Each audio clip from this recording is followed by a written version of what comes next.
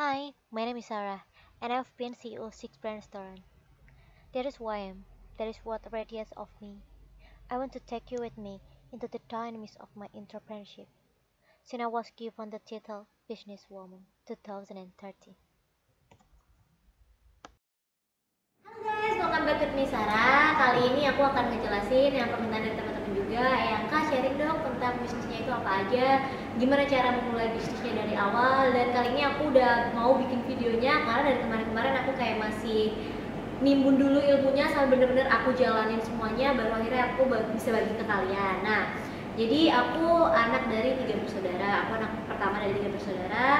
Nah, mama aku adalah ibu rumah tangga dan papaku kerja di pemerintahan. Nah, pertama kali aku uh, awal mulai bisnis uh, waktu itu tahun 2013. Tahun 2013 itu aku awal banget masuk kuliah. Nah, di situ aku udah mulai jualan online. Dulunya tuh aku udah ngeliat peluang, jadi uh, aku udah bisa nangkep peluang trending yang namanya trending. Dulu kan zamannya uh, aksesoris jeda gitu kan. Dari situ aku udah langsung putar otak tuh gimana caranya aku juga bisa jualin kayak orang-orang juga dan aku bisa dapet harga yang murah. Akhirnya waktu itu aku ambil jedanya itu dari Cina aku ambil jeda dari Cina dan akhirnya aku selling aku jual-jualin dan itu aku waktu itu dapet harga murah banget around 1000 sampai 2000 doang per, per piece-nya. Dan aku jual itu waktu itu harga jeda mulai dari 15.000 dan turunnya itu ke 10.000 doang. Karena yang aku ambil itu emang jedanya jeda-jeda yang kuat gitu loh bukan yang plastik gitu kan. Nah setelah itu abis dari jeda itu aku jualan um, baju jualan baju-baju online dan aku udah bikin tuh online shop. Karena kan uh, dulu kan online shop tuh termasuk salah satu bisnis yang emang modalnya nggak gede tapi kita bisa jual. Ibaratnya apa ya? Jualan yang modalnya minim banget lah. Dan itu awalnya aku udah buka online shop. Nah setelah itu duit udah terkumpul aku kan juga ikut modeling. Jadi aku pemotretan terus catwalk terus juga aku sering ikut ngisi di beberapa acara TV jadi kayak misalnya ada acara atau gimana jadi talent di uh, terus dulu aku jadi talent di trans jadi kayak emang aku sering banget ikut di Trans 7 nah dari situ juga akhirnya aku udah mulai kepikiran tuh aku waktu awal kuliah kan aku masuk tuh tiap hari teman-teman itu ngajakin nongkrong mulu.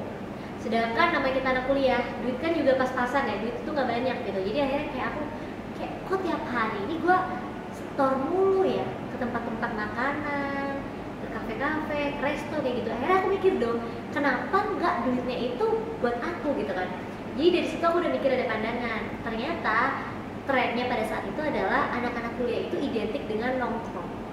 Jadi aku langsung pikir otak tuh aku muter otak gimana caranya ya? Aku pengen banget buka tempat usaha makanan. Nah dari situ akhirnya nyari tempat tuh.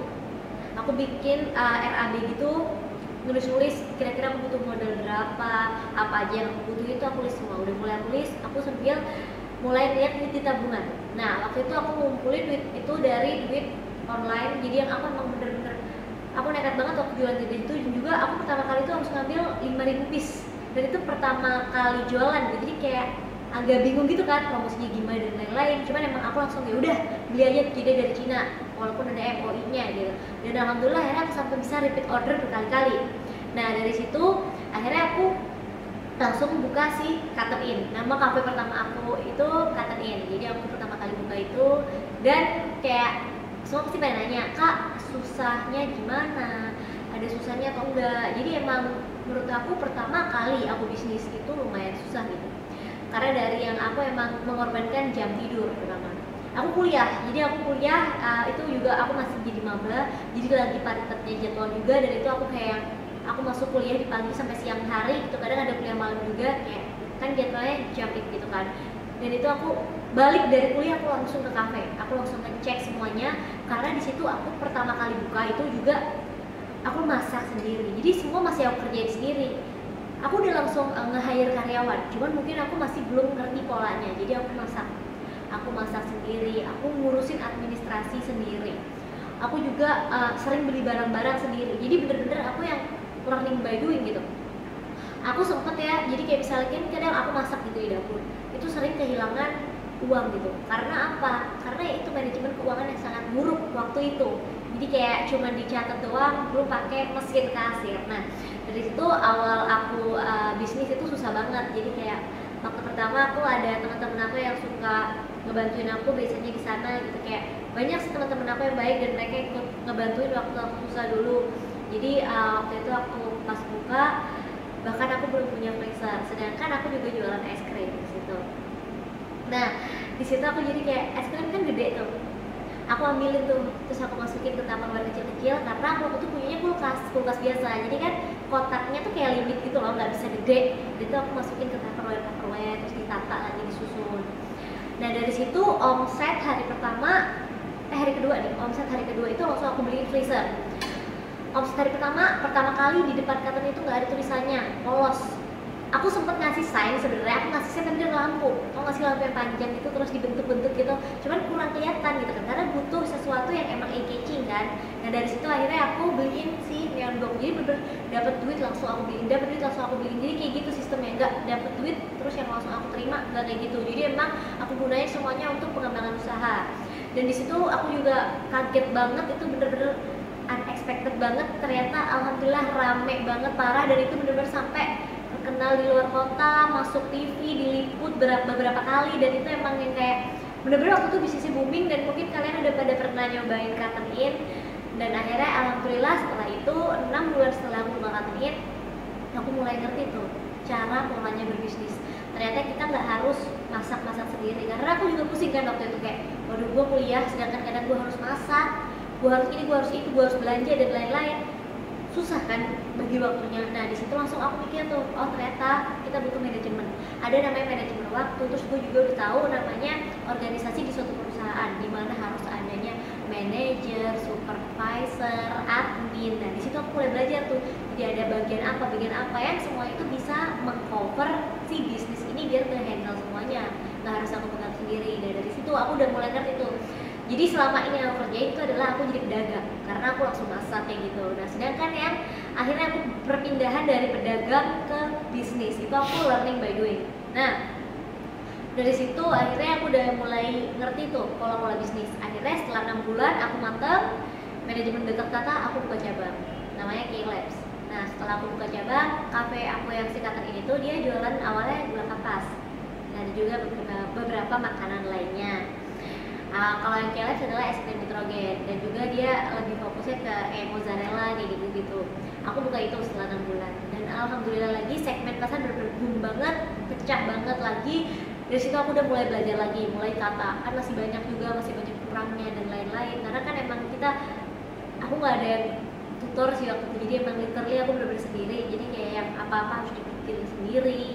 Ini harus ngapain harus gimana. Itu jadi kayak aku mengamati sih jatuhnya aku mengamati gitu kan nah dari situ aku udah uh, setelah aku buka kelab sampai banget akhirnya aku buka cabang. Waktu itu mulai ekspansi kepikiran ekspansi keluar kota. Akhirnya buka cabang di Bali. Nah dari situ setelah buka cabang di Bali aku juga uh, akhirnya mulai deh tuh nambah-nambah bisnis berkembang. Terus bikin Aztec, teras bistro itu. Terus juga aku ada kerjasama sama teman bikin taichan goreng di Malang sama di Surabaya nah setelah itu aku bisnis uh, mulai beralih ke bisnis produk. Nah aku kan uh, karena aku cewek ya jadi aku sebenarnya suka kosmetik. Akhirnya aku bikin hair repair by Sarah Kale yang uh, dia apa ya kayak semacam vitamin rambut gitu untuk repair batang rambut yang rusak. Nah dari situ aku udah mulai bisnis produk. Setelah aku bisnis produk aku akhirnya uh, sekarang lagi bikin uh, mie ada Tebet sama rekan aku juga dari situ aku udah mulai ngerti tuh pola-pola uh, pola-pola bisnisnya kayak gimana ya semuanya kan pasti dari nol ya dari susah. Dan um, dari hasil penjualan kantor in waktu itu aku udah bisa beli uh, mobil sendiri. Waktu itu aku tahun 2013 aku beli mobil Swift Suzuki Swift. Nah dari situ terus tahun 2016 aku udah ganti mobil tuh. Eh sorry 2013 aku beli Swift terus aku udah bisa 2014 aku beli rumah terus alhamdulillah bisa beli apartemen. Nah di situ aku tahun 2016 aku ganti tuh ganti aku bilang aku udah ganti itu uh, ya udah alhamdulillah meningkat terus. Jadi kayak uh, semenjak kuliah awal kuliah aku udah gak dibiayai orang tua jadi full I find myself gitu. Jadi aku nggak nggak pernah ngerepotin orang tua lagi. Emang aku usaha sendiri bisnis sendiri kayak emang bener-bener semuanya aku nge-organize diri aku sendiri gitu. Dari sana kan kalau dari teman-teman kayak suka nanyain gitu kak uh, bisnisnya kan lumayan banyak gitu gimana cara manage nya gitu. Kalau dari aku sendiri sih sebenarnya kalau ditanyain pusing atau enggak ya pasti pusing ya karena kata aku suatu usaha tuh nggak ada nggak pusing gitu ya pasti emang ada effortnya lah gitu. Jadi kayak misalnya aku bangun tidur tuh biasanya kan masing-masing dari uh, kerjaan yang ada itu udah ada divisinya masing-masing jadi udah ada yang megang satu-satu gitu. Jadi misalnya kayak lagi bangun sebanyak banget grup yang masuk gitu kan. Misalnya ini ada problem apa problem apa problem apa. Jadi kayak mungkin jatuhnya lebih bikin decision makernya sih kalau sekarang. Jadi kayak bikin uh, apa namanya kebijakan apa kebijakan apa antara share kayak gini gini gini. Dan nanti udah ada yang uh, bagian uh, eksekutif sama legislatifnya itu yang kayak menjalankan gitu. Jadi emang ada manajer yang untuk nge-handle semuanya. Lebih kayak gitu sih. Karena ya gimana ya kalau dari sini sih aku sih lebih bersyukur ya. Karena aku belajar semuanya dari nol. Jadi kayak even uh, modal pun alhamdulillah aku nggak minta sama sekali dari orang tua gitu. Jadi kalau kalian tuh jangan pernah berpikir bahwa ketika kita awalnya tidak memiliki modal bisa sukses. Pasti sukses. Semua orang itu tidak ada kemungkinan bagi setiap manusia itu nggak sukses itu nggak ada. Semua orang memiliki kemungkinan untuk sukses gitu. Tinggal dari kitanya aja yang memanage diri kita seperti apa gitu. Karena yang penting sih menurut aku apa ya kalau dari orang tua yang paling penting banget tuh doa gitu. Karena gimana pun doa dari orang tua itu insya Allah bisa melancarkan semua yang kita apa apa tuh yang kita lakukan jadi mudah juga gitu. kayak pada nanya kan kayak kak aku masih kuliah nih gimana caranya? Aku nggak bisa bagi waktu aku nggak bisa aku nanti kalau udah kuliah aja dan lain-lain. Menurut aku ya kalau aku pribadi sih sebenarnya kayak gini konsepnya. Kalau misalnya kalian udah pengen sesuatu gimana pun caranya apalagi kalian bisa ngedivide waktu seharusnya itu pasti bisa. Karena aku pun sendiri aku bisa kasih contoh ya karena aku satu aku lulus on time banget aku lulus lulus SMA kemarin dan itu aku bisa on time aku nggak pernah skip kelas kan bisa tanya dosen-dosen aku atau teman-teman aku aku nggak pernah skip kelas sama sekali. Aku benar-benar literally selalu masuk even kadang aku masuk kelas juga ke tempatnya mandi karena kan kayak malamnya aku tuh pulang malam banget biasanya jadi kayak uh, waktu awal-awal uh, merintis kan awal-awal usaha jadi kayak aku pulang itu jam 12 kan tutupnya jam 12 harus ada briefing, closing dan lain-lain briefing sama gitu. itu aku baru, baru bisa balik ke rumah jam 2 malam paginya kadang jam 7 ada kuliah gitu. Kadang ada ujian juga dan itu kan aku harus lari-lari juga ya karena uh, rumah aku juga terlalu jauh dari kampus gitu around satu jam gitu. Jadi jam habis subuh langsung berangkat ke kampus. Dan itu aku cuma dapat waktu tidur tiga jam. Ya sih sehari aku paling kan tiga sampai empat jam doang. Kayak sleepless banget awalnya dan gimana ya menurut aku tuh adalah bagian dari pengorbanan gitu. Kadang uh, semua sih pengen nanyain kayak kak gila lo nggak capek apa? Kayak nggak kuat kayak gini-gini menurut aku ya pada prinsipnya ketika kita masih muda ya kalau buat aku sendiri kita masih muda gitu. tenaga kita masih prima dan masih full. Ketika kita masih muda bikin diri kita secapek-capeknya semaksimal mungkin. Karena gini pada prinsipnya kalau kalian mau kaya nggak ada yang instan gitu nggak ada kan pingin kaya duduk doang nggak ngapa-ngapain. That's impossible. Jadi pasti harus ada yang dikorbankan. Ketika kalian menginginkan sesuatu pasti harus ada yang dikorbankan gitu kan. Jadi dari situ udah kelihatan banget gitu loh kalau misalnya apa yang kita lakukan itu insya Allah bisa membuahkan hasil. Dan jangan lupa uh, percaya pada kekuatan alam sih ya karena jatuhnya kalau misalnya kalian udah usaha itu pasangannya adalah berdoa. Jadi usaha semaksimal mungkin dan kita aku yakin sih itu semua pasti ada hasilnya gitu. Karena tidak ada hasil yang mengkhianati usaha gitu. nah kalau dari aku sih mungkin gini ya pada konsepnya kita berbisnis itu jangan lupa untuk bersyukur gitu. Bersyukur tapi jangan cepat puas gitu. Karena aku orangnya emang ambisius ya jadi aku melakukan segala sesuatu itu jadi kayak aku pengen ini pengen ini pengen ini.